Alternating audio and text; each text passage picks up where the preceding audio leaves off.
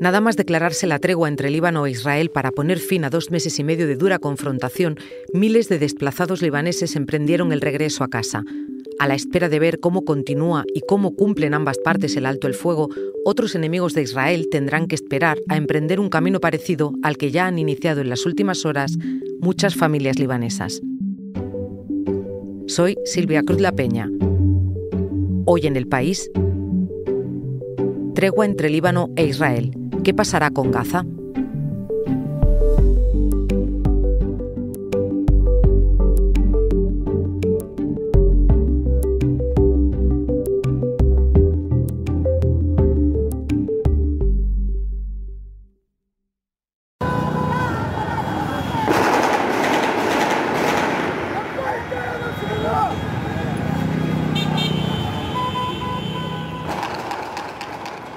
Hola Antonio, ¿qué estamos escuchando? Hola, esto es Sendahie, que es el suburbio sur de Beirut, que solemos llamar el bastión de Hezbollah, es uno de los sitios más bombardeados claramente en estos dos meses y medio. Eh, ahora se puede ver, pues prácticamente en cada manzana hay, hay un edificio que ha sido atacado, que está en ruinas, y justamente se ha convertido un poco en el epicentro de dos cosas, ¿no? Por un lado, de la celebración de lo que los eh, partidarios de Hezbollah consideran la victoria respecto a Israel, así la llaman, es la palabra que suelen usar o hablan de que Israel se ha rendido. Y por otro lado, pues el regreso de los desplazados porque prácticamente estaba vacío y están llegando. Hay como toda una carretera que de un lado no hay nadie y de entrada pues hay un atasco enorme con la gente llevando en el techo del vehículo las mantas, colchones de, de los lugares a los que se habían desplazado. Antonio Pita es el corresponsal del país en Oriente Próximo. Antonio, me hablabas de cómo está reaccionando la población en Líbano a esa tregua entre Israel y su país, pero me gustaría que antes de entrar en detalle me dijeras cómo está el país tras esos dos meses y medio que decías de ataques intensivos. ¿Qué ha quedado?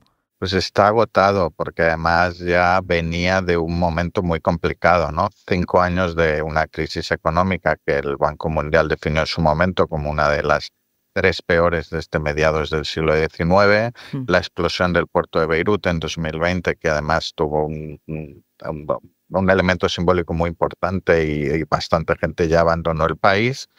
Y han sido, eh, primero han sido 11 meses de guerra de baja intensidad que generaron decenas de miles de desplazados del sur, más de la zona fronteriza, pero luego, claro, ya cuando empezó en septiembre con el famoso ataque a los buscas de walkie-talkies, y luego pues 550 muertos en pocas horas, que fue la, la jornada más letal en la historia del Líbano. Ahí ya las oleadas de desplazados fueron inmensas y hablamos de más de un millón de personas, cientos de miles que han huido a Siria, un país en guerra. Hablamos de gente que los veías en, en los jardines, en los parques o que se montaban su tienda de campaña en medio de una plaza de Beirut y hablamos de mucha gente, decenas de miles que estaban en colegios, colegios que se habían reconvertido en refugios porque hasta noviembre de hecho no, no empezaron las clases. De todo eso has ido informando tú día a día. Dime, hoy, ¿de qué tipo de acuerdo estamos hablando? ¿En qué consiste esa tregua? Es un acuerdo que en realidad tiene una parte escrita y otra que no figura, pero que también es muy importante. ¿no? La primera es un acuerdo de 13 puntos que se basa en la resolución 1701 de Naciones Unidas, que es la que puso fin a la guerra de 2006 entre Israel y Hezbollah. Y lo que hace es eh, un poco confirmar los mismos puntos que ya existían, es decir, Israel no tiene, eh, tiene que retirar sus tropas a la llamada eh, línea azul, que es la frontera no reconocida. Em, eh, no puede haber ni armas ni milicianos al sur del río Litani, que está más o menos a 30 kilómetros de la frontera, en Líbano. Y aparte, se establecen algunos elementos que muestran pues la debilidad de Hezbollah en esta negociación y eh, cómo Israel ha decidido rehacer Oriente Medio y, aplicar pues la, situación de, de, ventaja estratégica en la que estaba. Entonces se crea, por ejemplo, un comité de seguimiento que va a presidir Estados Unidos, donde va a estar también Francia, porque no se fía de UNIFIL, de la misión de Naciones Unidas, que está encargada de vigilar el cumplimiento de la resolución, no se fía de que los miles de soldados libaneses que se van a desplegar para asegurarse de que se cumple esa resolución realmente lo vayan a hacer.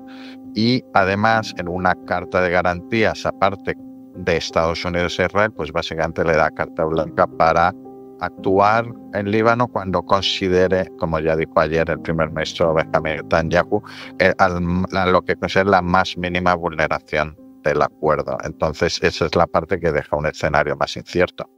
Antonio, ¿y por qué ahora? Sobre por qué ahora hay muchas teorías y quizás muchas cosas que se juntan. Por parte estadounidense, Joe Biden está de salida y por lo menos obtiene una última victoria antes de irse, pero que en realidad también es un regalo a, Donald Trump porque mm. precisamente es el que no, el que ya dijo que no le apetecía que hubiese guerras y que tenían que acabar ya, ¿no? Como en el lenguaje que suele emplear.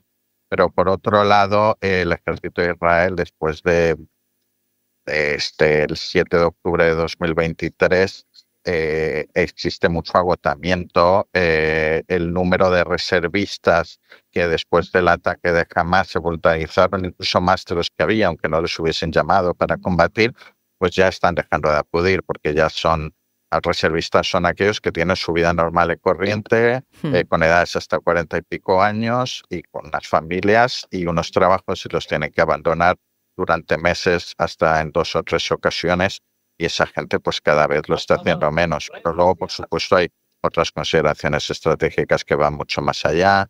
El Líbano está agotado, el Líbano está en una situación muy frágil y Hezbollah también se ha visto muy presionado a tener que, que hacer algo para detener, esta, para detener esto. Antonio, ¿y qué pasaría si una de las partes rompiera el acuerdo? Pues es uno de los problemas que tiene mucho que ver con lo que ha pasado desde 2006. Es que todos los días ambas partes estaban rompiendo el acuerdo. Hmm. Eh, Israel sistemáticamente violaba el espacio aéreo libanés eh, o bombardeaba en territorio libanés en ocasiones eh, y Hezbollah pues claramente incumplía su obligación de no estar al sur del río Litani donde de hecho cada vez había ido acumulando más gente, más arsenal. Todo esto es lo que genera una situación en, la que la 1701 se convertía básicamente en papel mojado. Hmm. Unifil, la misión de los cascos azules que comentábamos, no podía hacer mucho más porque su misión, la que le da eh, las Naciones Unidas consiste en una vigilancia en la que no pueden entrar en las casas privadas y ellos notifican las vulneraciones al ejército libanés, que es el responsable de aplicarla, hmm. pero el ejército libanés no lo hace porque dentro de los equilibrios del Líbano eso podría generar una guerra civil, porque Hezbollah es básicamente el principal grupo con armas más que el ejército en Líbano y funciona un poco como Estado dentro del Estado. Entonces todo ese círculo es el que se ha ido construyendo durante dos décadas y ha acabado un poco en esta situación. ¿Dirías que de alguna manera esta tregua es una victoria para Netanyahu? Israel realmente después de, más allá de la retórica de la victoria absoluta y en un lugar en el que no tiene interés de colonizar, como sí que eh, unos determinados sectores muy, muy influyentes en el, en, en el gobierno israelí tienen en Gaza, pues no tenía tampoco muchísimo más sentido militar seguir adelante una vez que habían matado a prácticamente toda la cúpula de Hezbollah. Eh, y eso les permite, como decía Netanyahu, pues concentrarse en lo que él considera la gran amenaza existencial del pueblo judío en su conjunto, que es Irán. Antonio, quiero que me sigas contando, pero dame un momento. Enseguida volvemos.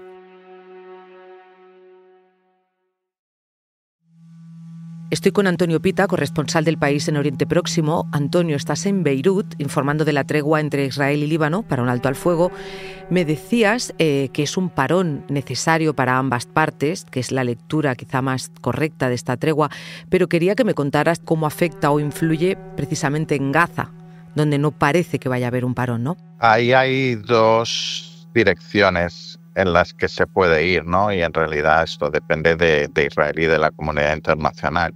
Una es, como hoy mismo ha señalado Hamas, que ellos están abiertos a un acuerdo. Eso tampoco es en realidad una sorpresa, pero podrían haber adoptado otra posición, sobre todo porque se han quedado solos, como como dijo Netanyahu, Hezbollah, desde el primer cohete que lanzó el 8 de octubre de 2023, dijo que su objetivo era muy claro. Cuando Israel deje de bombardear Gaza, eh, nosotros dejaremos de lanzar cohetes contra Israel. Esa es la ecuación. Pero al final ha acabado haciendo un alto el fuego por separado. La situación en Gaza es absolutamente trágica, con un cerco en el norte brutal en el que se está utilizando más que nunca el hambre como arma de guerra, con un desplazamiento masivo y todo eso a lo que apunta es a establecer una franja de seguridad que está preparando Israel y posiblemente, aunque Netanyahu lo niegue, a una recolonización de Gaza que en cierto modo ha ido, ha ido ganando puntos y es, eh, a lo que apuntan muchos indicadores que que está yendo Israel, solo que, bueno, jugando con el tiempo o por lo menos a mantener una presencia militar durante mucho tiempo. La otra dirección es a la que apuntaba Netanyahu al hacer el anuncio del alto el fuego en Líbano, un acuerdo en Gaza, por considerar que, eh, que jamás cederá más en la negociación. Em, es también lo que pidió el presidente de Estados Unidos, Joe Biden, eh, desde la Casa Blanca y a lo que en teoría se deberían centrar ahora los esfuerzos diplomáticos una vez que, han callado las armas en Líbano. ¿Y qué pasa con la población, Antonio? Porque sé que las cifras acaban diciendo poco, ¿no? Producen también un agotamiento, pero yo creo que es necesario que me des algunas, teniendo en cuenta que Gaza está ya en su mes 14 de guerra. ¿Cómo se está viviendo desde allí toda esta situación? Bueno, yo diría que para mí hay dos cosas que definen muy bien lo que pasa en Gaza. Es que prácticamente cada vez que escribo un WhatsApp a cualquiera de las personas con las que sigo el contacto dentro, hmm. básicamente su respuesta es estoy vivo, ¿no? Eso ya pasaba un poco al principio, pero ahora básicamente se, se suele limitar a eso. La, a verse los desplazamientos forzosos han pasado de ser algo que contabas como, como algo extraordinario eh, con, a su realidad del día a día, ¿no? Entonces todos acumulan varios eh, y es una situación absolutamente dramática, además sin, sin ningún final en el horizonte, ¿no? Yo siento que ni siquiera ni siquiera mucha de la gente con la que hablo está particularmente indignada, está ya como en modo automático, ¿no? después de tantos meses tratando de sobrevivir. Para acabar, Antonio, ¿cómo se ve el futuro desde Gaza con el regreso de Donald Trump a la presidencia de Estados Unidos?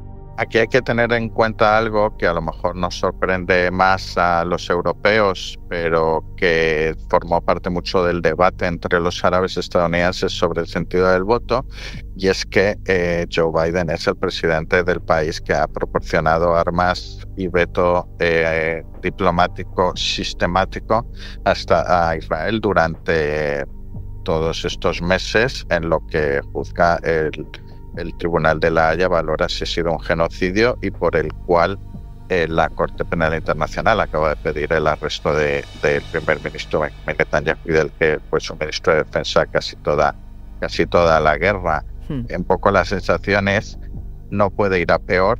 Una parte ve en Trump una especie de líder impredecible que no le gusta un poco la tradición eh, diplomática estadounidense y está dispuesto a cambiarlo y no le gusta tener que lidiar con problemas y que por lo menos en un momento dado puede pegar un puñetazo en la mesa y pararlo. La sensación más bien es no les gusta Trump, pero todo mejor que apoyar con su voto al que consideran que ha sido responsable de un genocidio. Eso no solo en Gaza, sino en general en el mundo árabe, en Oriente Próximo, es eh, una postura bastante presente y de hecho, entre los propios árabes estadounidenses que apoyaron un cierto porcentaje o se abstuvieron. Antonio, gracias. A ti.